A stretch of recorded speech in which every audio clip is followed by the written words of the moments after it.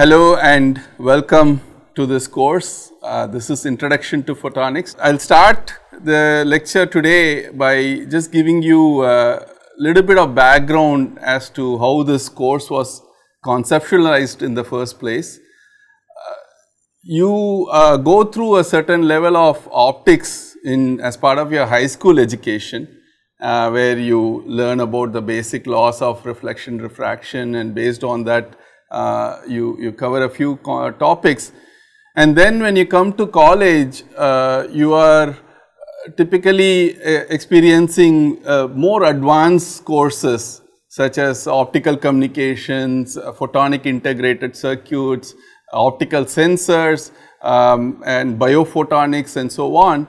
And uh, what we thought is we actually need a bridge between the two because uh, certain level of uh, fundamentals that are taught in the uh, high school level is not enough to uh, clearly appreciate the kind of uh, concepts that you are encountering at the advanced level courses.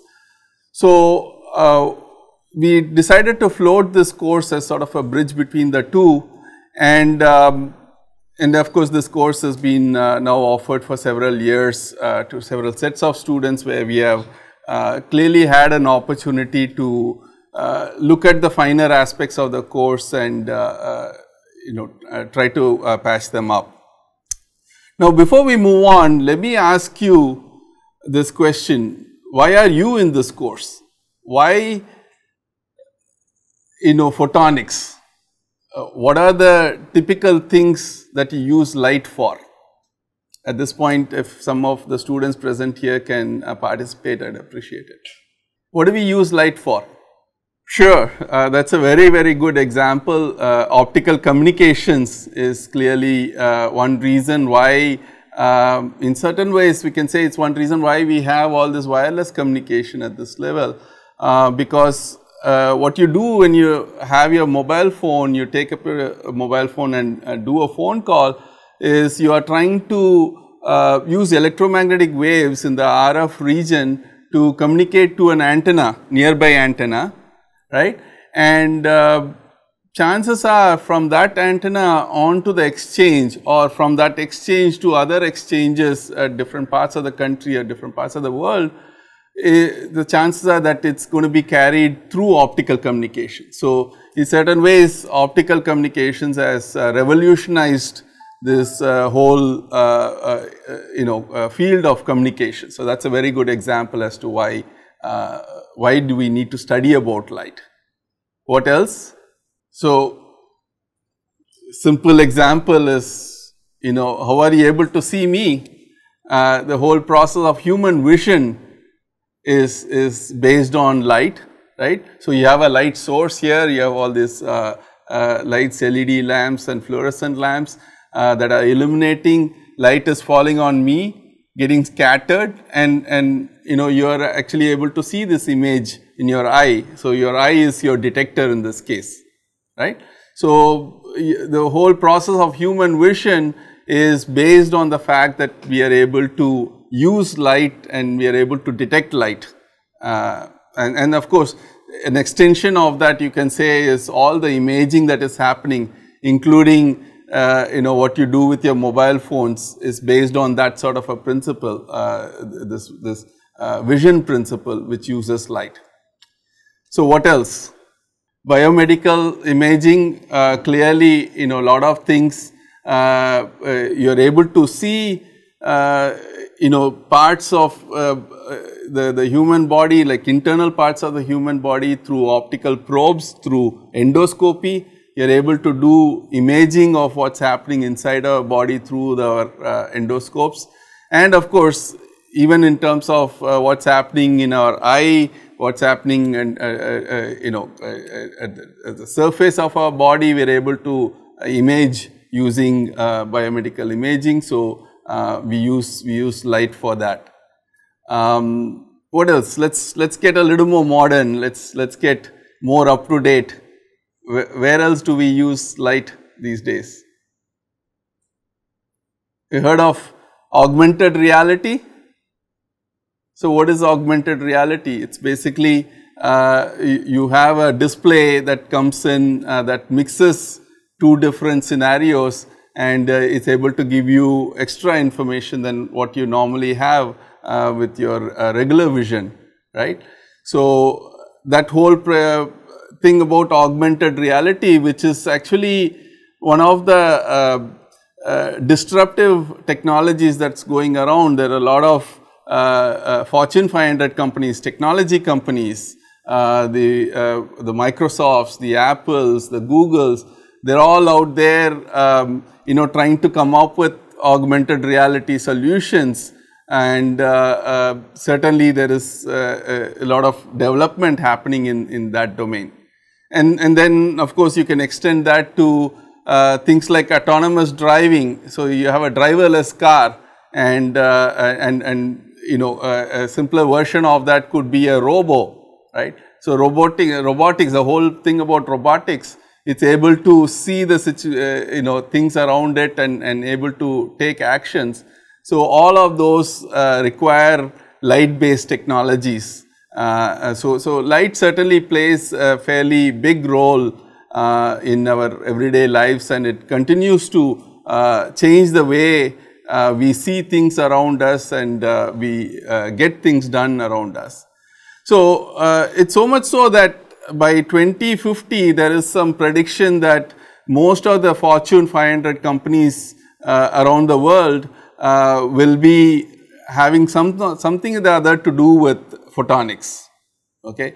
So, that is why we are here. We are here to understand uh, the properties of light, how to generate light, how to detect light and how to manipulate light how to uh, make light work for us, right. So, that is what this course is about. So, let me go down here and uh, uh, start making a few notes.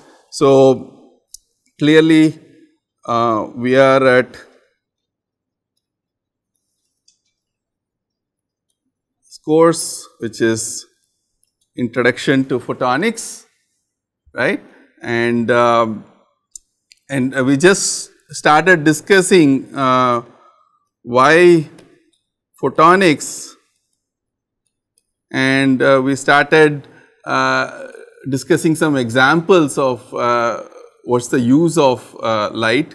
And uh, we said the whole process of human vision is based on light right? And then you extend that to imaging concepts uh, using cameras, using endoscopes, you are able to uh, uh, see things around us. And then somebody gave this example of optical communications where uh, we uh, use light to carry information uh, which has completely revolutionized this whole field of communications and uh, then we are uh, we can list out uh, things like uh, material processing. So, you take once again your mobile phone as an example, uh, uh, you have different parts of the mobile phone you know manufactured with such high precision and some of these in, may involve actually laser based marking, laser based cutting and so on. So, there is a lot of material processing applications for which light is used. And uh, uh, going forward things like augmented reality, uh, there is something called uh, gesture recognition. So, gesture recognition is the uh, next big thing as far as uh, man machine interface is concerned we are always trying to work on concepts which can uh, break down this interface between the man and machine and, uh, and, and this is the next level wherein you just based on some gestures you are able to uh, communicate with the machine and you are able to uh, uh, you know the you are able to make the computer understand that you are giving certain commands uh, certain instructions for the computer to do things for us. Um, so, so we can keep going on in that and some of the more recent uh, you know developments are uh, towards going to the next generation of computers based on quantum computing and so on. So, all of these are essentially uh, you know based on things where uh, we, we manipulate light okay. So, in from that perspective you can go back and say when what we mean by photonics is photonics is the science of light. Through uh, understanding the science of light we can uh, uh, we, we can do certain things like uh, what are the properties of uh, uh, light right? We can we can try to understand what are the properties of light. We can uh, uh, try to understand the generation and detection of light. And then probably more importantly you can look at the manipulation of light. So, what do we mean by manipulation of light? You know, light has certain uh, properties. So, if you want to describe light, what are the terms that you use to describe light? Very good. So, let us list this out. Wavelength is, is one characteristic or in other words in, in colloquial terms the color of light right. So, I am using different colors here obviously to um, you know denote different things and uh, uh, that essentially means that the, these different colors represent different wavelengths of light. What else? Intensity.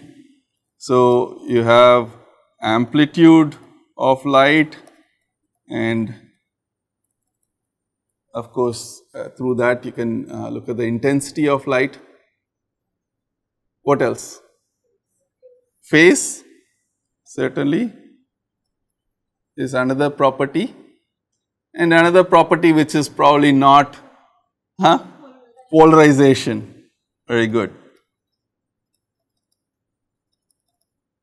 So, we have an opportunity to change certain properties of the light and through that realize certain functionalities right. So, that is what we are going to be uh, that is one of the things we are going to be looking at as far as this course is concerned. So, at this point maybe I, uh, I should step back and uh, show you the outline of the course, what, what exactly we are going to be seeing as far as this course is concerned. So, you have one module, uh, the, the first module which corresponds to uh, understanding the properties of light and uh, when we talk about understanding the properties of light, uh, first thing that we look at is um, this important, very important principle called wave particle duality. You know, you in colloquial terms, you would see that certain people refer to the science of light as optics and certain other section of people look at it as, as photonics. Are they different? Not really. Possibly when somebody is talking about optics, what they are uh, looking at is things that are uh, properties that are uh, based on the wave nature of light. And when somebody is talking about photonics, they are talking about physical processes which involve the particle nature of light. Okay. So, we are going to go into some of those details and try to appreciate where uh, we can use the wave nature of light and where we, we need to use the particle nature of light and all that. So, we will look at some of those to start with.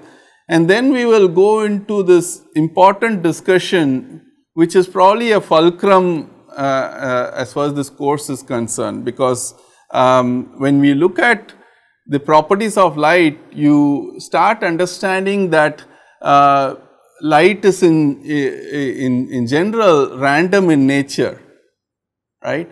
In terms of uh, uh, you know the emission of photons, in terms of detection of photons, you uh, start understanding that there is a certain statistics associated with, uh, with, with those processes. And um, in fact, it is only to uh, explain those statistics which we try to do uh, in terms of uh, coherence uh, property of light you start appreciating that maybe it doesn't help just to treat light as waves, maybe you need to look at the particle nature of light as well. Okay. So, this really, uh, this topic is really the motivation to look closely at the uh, particle nature of light and so, uh, you know, beyond that we are looking at the properties of a photon, um, uh, the properties, uh, the statistics of the photon and so on. And then beyond that we are at a position to understand interaction of these photons with atomic systems, with matter. Okay. So, we will start looking into how this absorption and em emission processes happen and through that process you come up with this realization that there is something called stimulated light emission okay and if you look at uh, you know stimulated light emission you you start understanding that maybe things like light amplification is possible right? And um, then once we have realized that we are at a point where we can start making light sources. So, we will jump into uh, understanding the fundamentals of lasers which is by itself is a complete course, uh, but what we are trying to do is just look at some of the basic concepts as far as lasers are concerned. And then the most commonly used light sources are the semiconductor uh, light emitting diodes and uh, uh, some of these light panels are based on semiconductor light emitting diodes and uh, uh, semiconductor lasers like a laser pointer if I am using a laser pointer I am using a semiconductor uh, laser typically okay.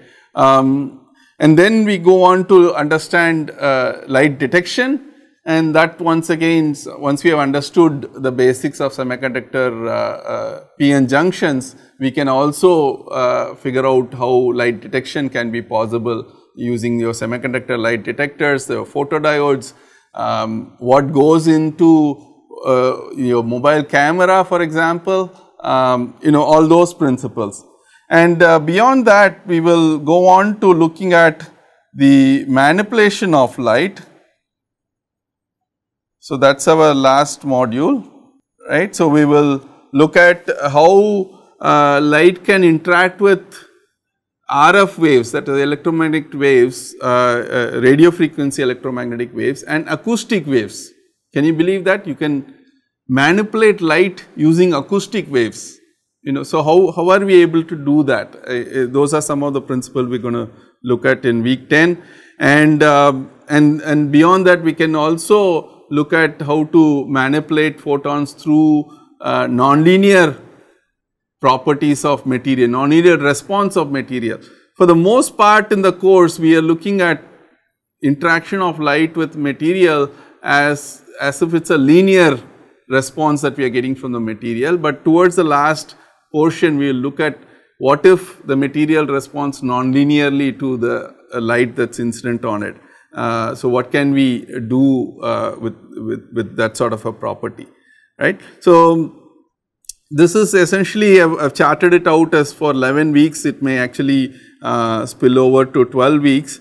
Um, but one important aspect of this particular course uh, the way it is taught for you students here is that it is going to be a theory come practical course. So, each week we will actually be doing a laboratory session which is enhancing your understanding on that particular concept that, that was taught that week. It is to the point that your laboratory sessions are essentially driving what we are discussing in the theoretical uh, aspects of this course. Okay. And for those of you that are uh, doing this course online, what we will be able to do on a weekly basis is uh, provide demonstration of those concepts so that you can follow what's what's going on. Uh, essentially, what the students do, the students here do in the laboratory, uh, you will be able to do that. Uh, you will be able to watch that at least as as a in class uh, demonstration. Okay, so uh, so and and so clearly uh, the, uh, the lab sessions that are defined over here are, uh, you know, are, are, enhancing those, those practical aspects that we are going to study as far as this course is concerned. As far as the textbook for this course is concerned, I am going to be closely following this uh, excellent textbook um, which is written by Saleh and Teich, uh, Fundamentals of Photonics. It's just that, you know, and puts this material in such a way that you can start from appreciating some of the wave properties of light and, and then go on to appreciating the photon um, uh, uh, you know uh, properties of light. Um, so so it's it's nicely structured, uh, uh, which is in tune with what I want to teach as far as this course is concerned. So um, so we're going to adopt that as the textbook, and of course there are certain other reference books that are provided, uh, which can uh, be helpful in understanding these concepts at a deeper level. Okay, so we uh, looked at why photonics. Uh, I mean, why we are why we are offering this course, and then uh, uh, closer to why it makes sense to follow this course. Um, so, and, and we also said essentially what we are doing in this course is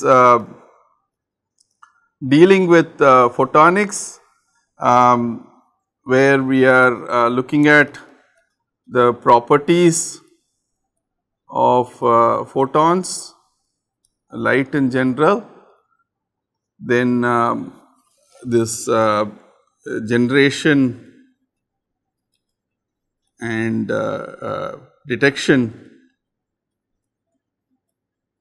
of photons and uh, manipulation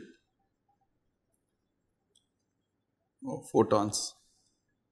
Okay. So, those are the three uh, primary modules that we are going to be uh, studying as far as this course concerned. And uh, let us first start with uh, understanding the uh, properties of light. And to do that, we will have to step back and take an historical perspective of the science of light, how it came about and uh, it all starts with a, a, a simple uh, concept called ray optics. And ray optics is primarily based on uh, this observation by uh, a scientist uh, by name Fermat in the uh, early 1600s, right. Fermat essentially hypothesized at the time that light travels in path of least time. Okay.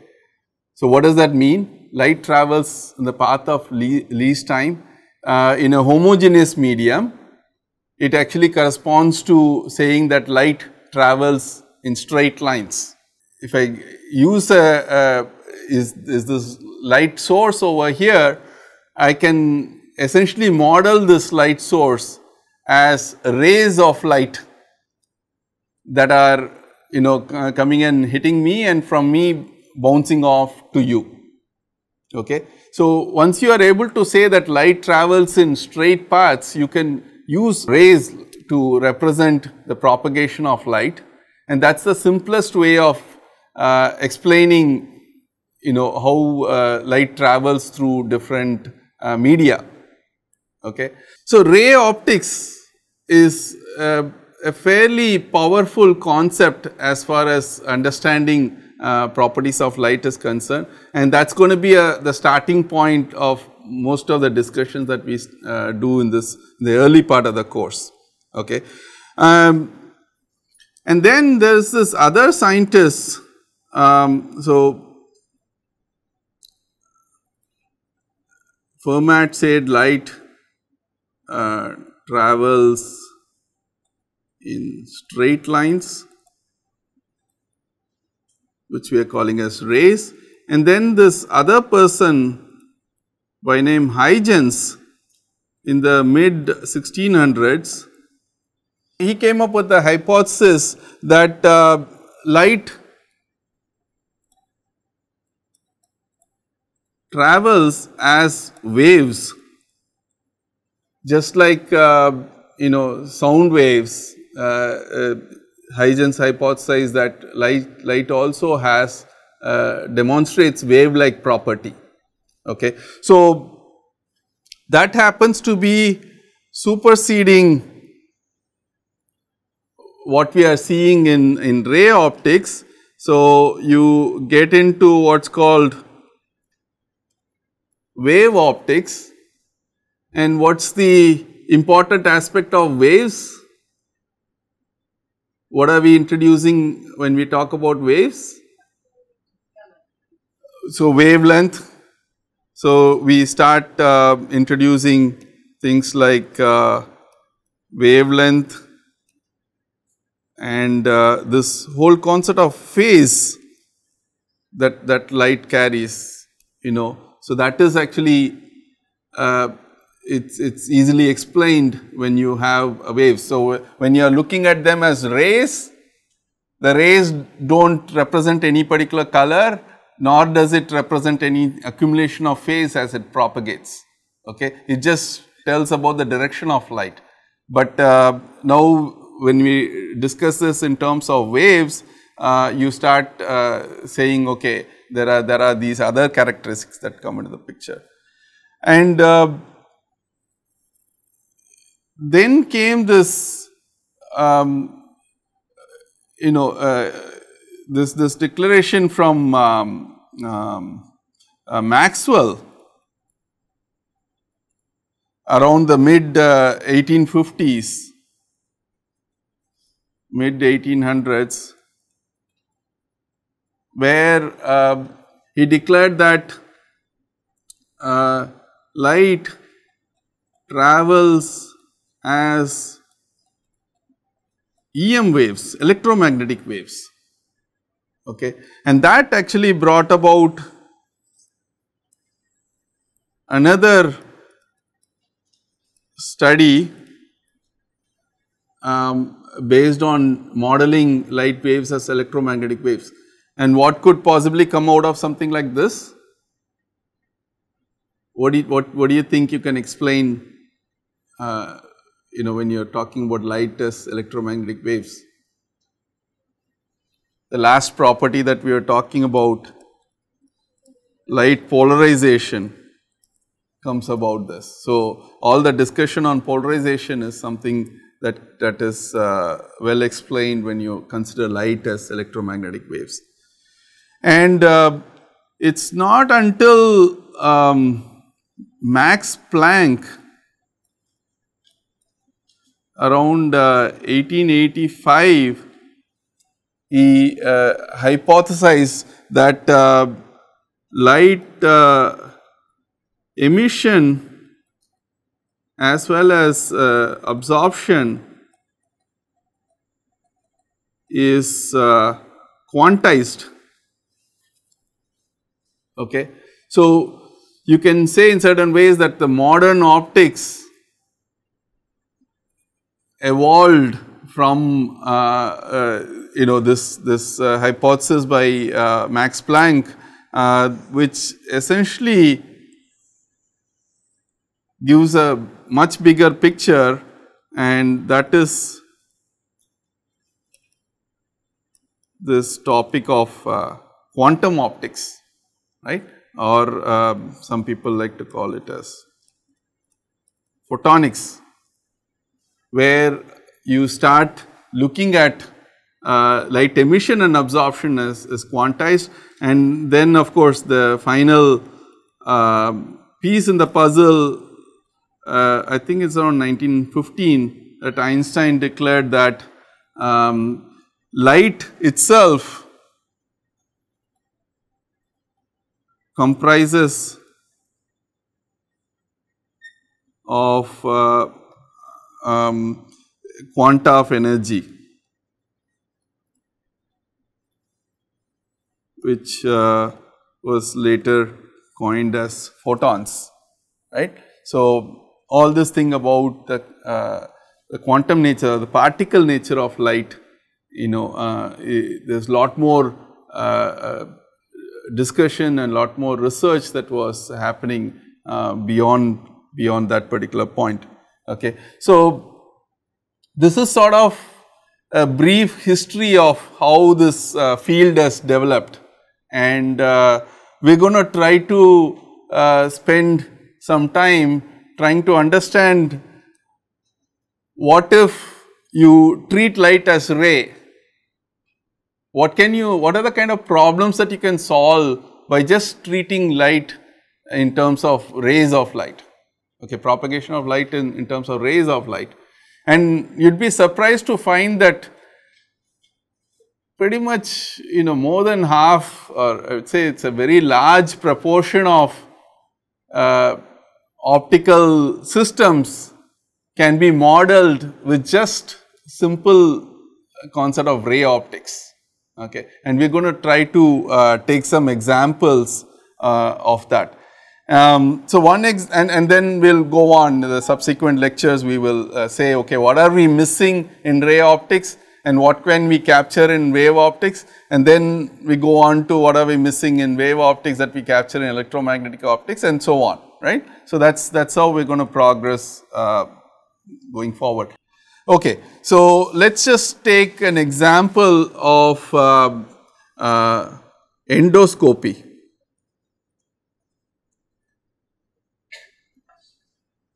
Right? So that is something that we were uh, throwing out a little earlier. What is endoscopy? It is about putting an optical probe through your body to see inside parts of your uh, uh, body, uh, things that we cannot see from uh, just outside. Um, and that essentially is clearly facilitated by an optical probe. So, let us go ahead and design an endoscope, okay, shall we? So, what do we need to you know de design this optical probe? What are the principles that we need to understand? And so uh, happens that there are two uh, basic principles. Um, one is uh, called law of uh, reflection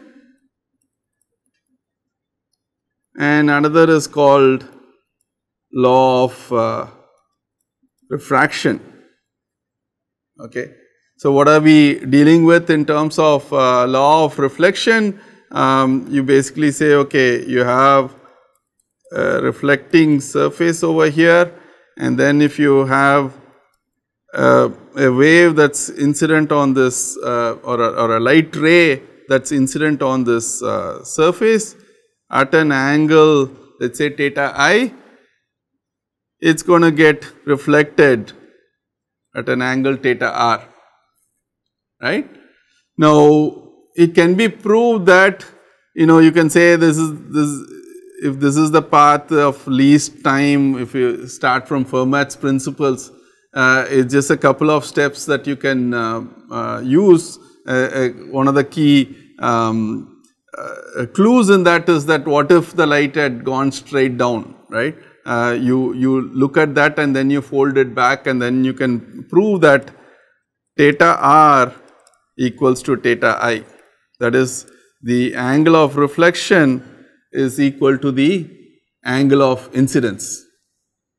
Okay. This is once again something that you would have studied in high school physics, you are all very familiar with it, right.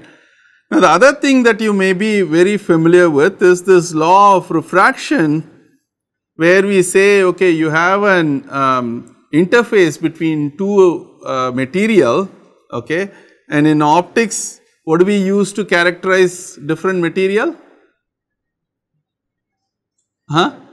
refractive index, right. So, let us say this is n1 and this is n2 and this is the normal over here and then if I have a light ray coming in with an angle theta 1, um, in this case part of the light may be reflected, um, but the other part of the light is going into this uh, second medium with angle theta 2 And then we have this famous law known as uh, Snell's law which says n1 sine theta 1 equal to n2 sine theta 2 right. So, this is also something that you are very familiar with and of course, um, it is not too difficult to prove this um, you know uh, uh, uh, just from geometric perspective, but it is more easily probably proven uh, from the electromagnetic perspective considering the boundary condition between the uh, two media and all that right. So, but, but let us just take this for granted and, and move on. Now, if you say you have this Snell's law and if you consider a specific uh, condition where n1 is greater than n2, okay, this is already going to imply that if you were to plug it in Snell's law, it says that theta 2 is greater than theta 1, right. If n1 is greater than n2, then uh, if you plug that into Snell's law, it's, it, it comes up with this uh, simple uh, implication that theta 2 has to be greater than theta 1. And it is only you know as a matter of some other value of theta 1 equal to theta c where theta 2 becomes pi by 2 right. So, as you keep increasing theta 1 it gets to a certain angle where um, uh, you know which you can label as theta c at which theta 2 equal to pi by 2. Now, if you write the Snell's law at that particular point it basically says n1 sine theta c equal to n2 sine of pi by 2 which is equal to 1. So, this you say is n2 and uh, in other words if you say uh, if you define this angle theta c this is sine inverse of n2 over n1 right. So, that is uh, a fairly simple uh, proof of what that critical angle is. And uh, what happens beyond that critical angle? If theta 1 is greater than theta c, total internal reflection, right. And total internal reflection says that um, in, in, in, the, in, the, same case that we were uh, drawing over here, uh, if you have your interface here, if n1 is greater than n2, and theta 1 greater than theta c, then all the light that is incident on this interface is going to get uh, reflected, right. So,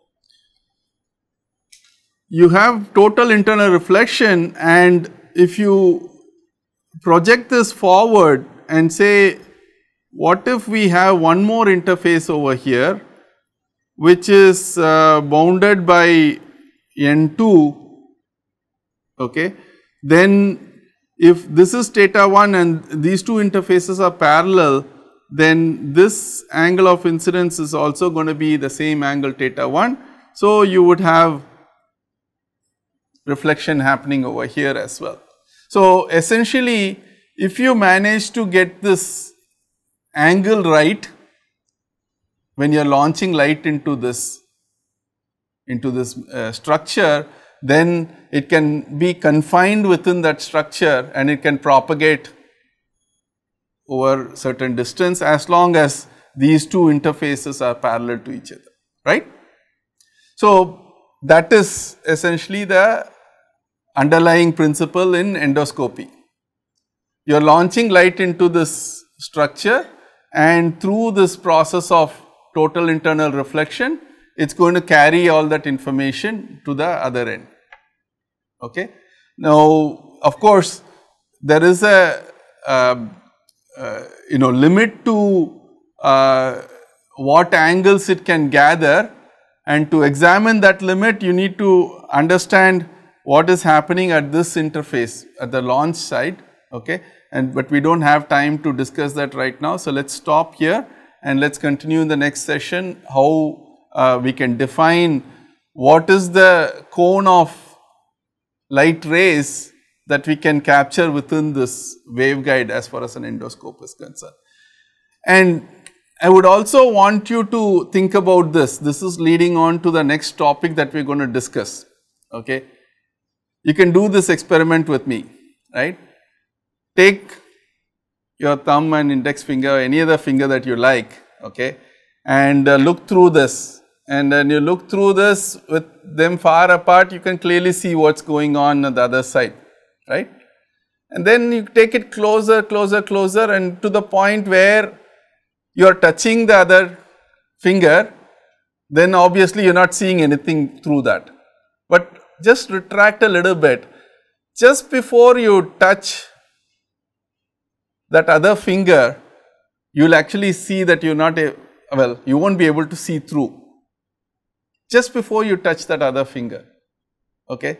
Now you can try that now or at home or in your room, wherever, but I want you to come back the next session when um, Thursday and I want you to tell me what is happening.